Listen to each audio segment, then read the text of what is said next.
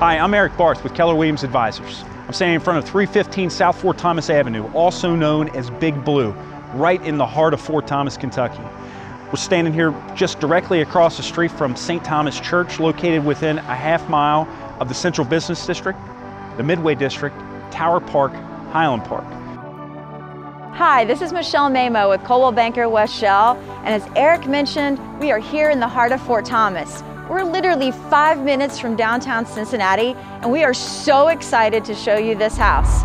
Many of you guys have not had a chance to peek inside at this whole house renovation by Cutter Construction. I can't wait for you to see it.